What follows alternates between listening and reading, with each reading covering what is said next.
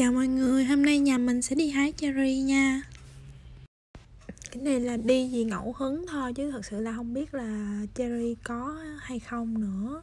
Nhưng mà cứ đi thử rồi sẽ biết. Tới vườn cherry nè mọi người ơi? Theo cái nhìn ban đầu thì thấy là cherry rất là nhỏ và không có được ờ, nhiều nhiều trái á mỗi năm mình đều thích đi hái cherry lắm thì một phần là vô được ăn thoải mái nữa. Xong rồi mình muốn mua về bao nhiêu thì mình mua thôi, nhưng mà nói chung là được ăn tại vườn, ăn no nê luôn. Nên là mình rất là thích. Cái này cũng như là mình đi vườn nhãn vườn trong chôm đồ ở bên việt nam vậy đó. Ăn cho đã rồi, xong rồi mình ra mình mua về vậy thôi mua nhiều sao mua nhiều về mình không có ăn dở. Tại vì năm rồi mình đi tới tháng 7 rồi năm nay mới nè trái nhỏ xíu à. Ngày cuối tuần bận bận bận bận bò rộn. Sáng thì đi làm ốc. Trưa thì mình đi hái cherry. Đợt này mình đi hái sớm quá. Ăn không?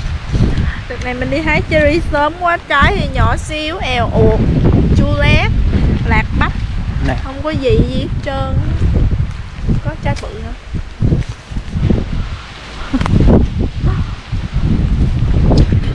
đợt này ngon không ba không có ngon. Cho nên là mấy tuần sau phải đi lại. Đợt này chắc là chỉ đi ăn thôi chứ không có ngon mua quá mẹ ơi. về Đúng không? Được ngon mọi người ơi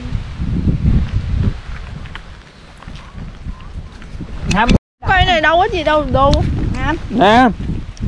Vui hả à nhỏ xíu xíu à? Ừ. Đi. nay trái nhỏ xíu xíu không trái không gì á. Ừ, không có giòn dở quá. Năm nay dở quá. Buồn quá. Đi em đi trộm cái gì em nhìn em vô trộm quá đi. Ở bên đó còn có trái hơn giòn giòn.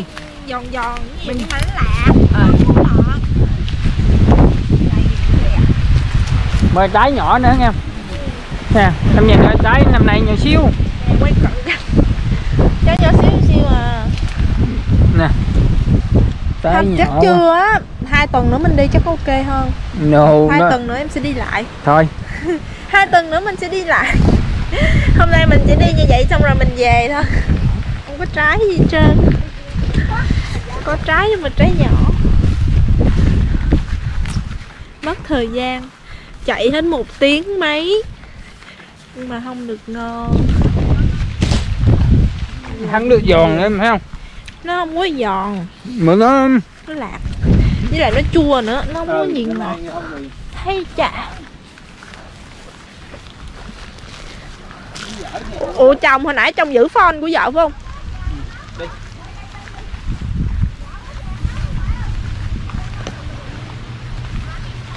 Ha. em đứng đó em chụp cho em ai tin đây là cháu của mình nè sắp tới là sinh nhật một tuổi rồi đó đi chơi một cái mặt nhìn buồn ngủ thấy tội ghê không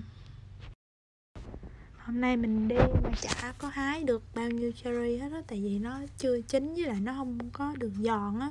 Cho nên là khoảng chắc hai ba tuần nữa mình sẽ đi lại đó uhm, ok bye bye mọi người nha.